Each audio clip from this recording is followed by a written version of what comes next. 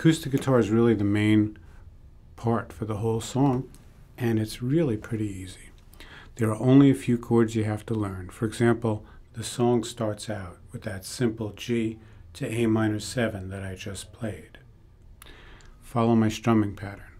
One, two, three, four.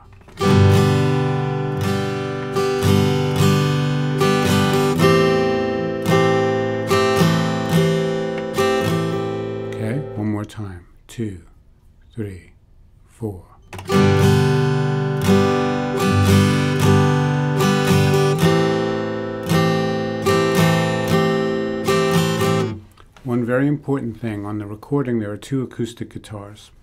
One of them is tuned to Nashville tuning, which means the bottom three strings are replaced with thinner strings and each tuned up an octave.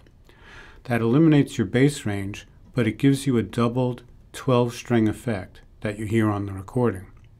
The other thing is that there's a second acoustic guitar, and although he pretty much doubles a lot of what the first guitar is doing, there's an important fill that's played over every single G chord, pretty much in the entire song.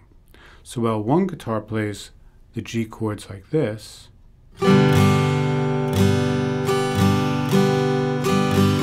there's a fill that goes like this. One, two.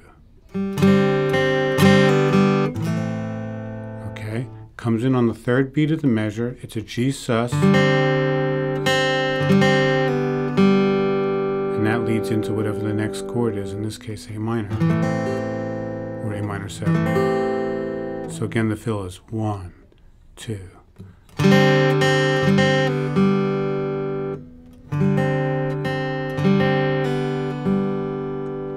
So what I like to do is I like to put the two together because that's not hard to do. So as I demonstrate the song, I'll be playing something like this. Two, three, four.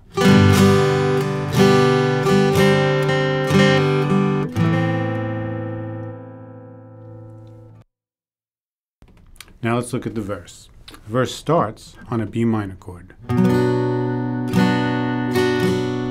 the G figure. Back.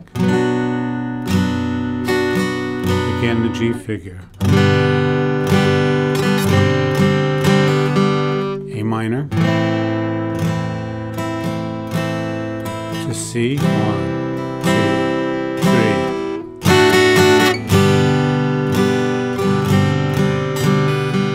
let's like take a look at that. That was measure 11, that was C, and then on the fourth beat was a D chord. I've noticed in this song, whenever there's a change on the fourth beat, um, Keith pretty typically strums 16th notes like this. One, two, three. Right? Same thing in measure 13, which is D to C, but the C is on the fourth beat, so measure 13 is like this. One,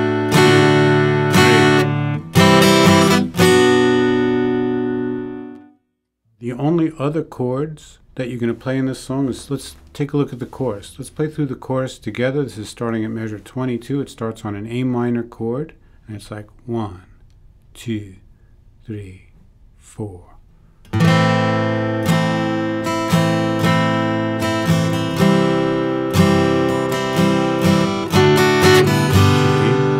F bar,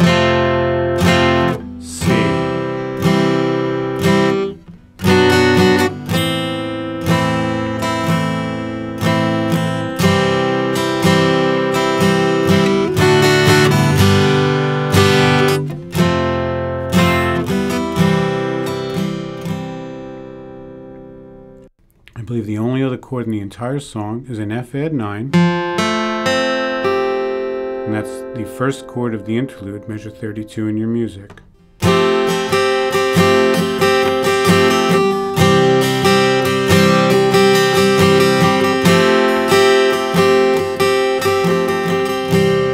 You'll notice when I do that, I hold the F9. And when I move to C, I only move two fingers keeping the C and the G on top the whole time.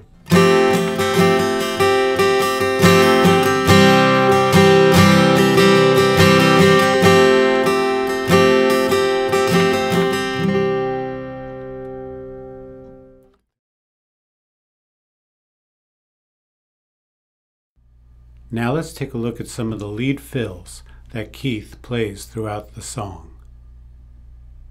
On the intro, he opens with this beautiful country style lick like this.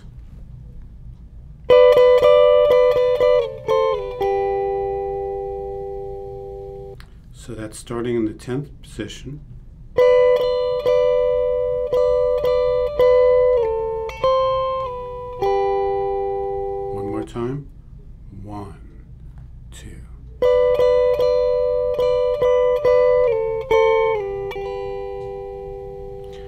That nice even sound, I use all downstrokes. I'm picking very lightly and I slur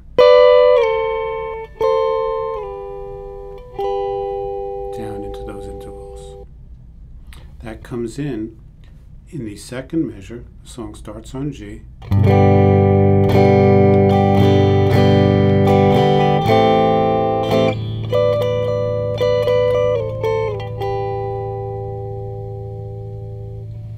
Now let's move to the verse. In the verses and the chorus, Mick tends to play his solo fills derived from chord fingerings. The first chord of the song is B minor, and from the B minor moves to G, and back to B minor. Now let's look at what Mick plays over those chords.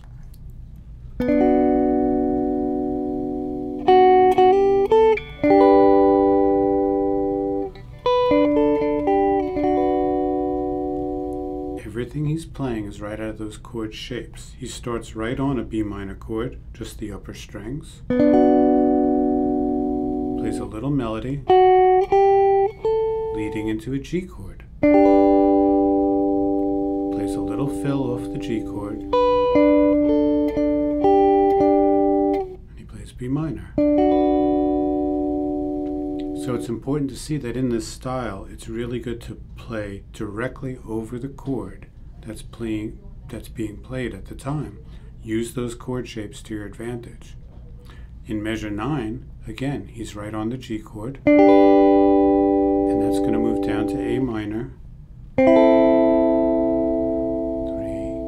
4 to C. 2, 3. Let's look at that. That was measure 11. The uh, chord progression is a C chord. Uh, and he's playing a C chord. Two, three. So he's playing C. On the fourth beat for the D chord, he grabs a D chord. It's a one finger bar. This D chord here is the middle notes of your D bar chord. He's using his first finger and he's arpeggiating it and resolving it to the G chord. That's a G chord. C, D, G. Then in measure 13, which is again is a D chord, he grabs the D position and plays.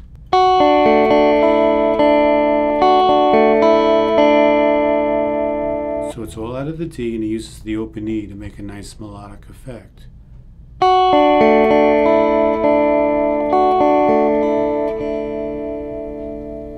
Let's play that from measure 6. In your music, this is the verse. One, two, three, four.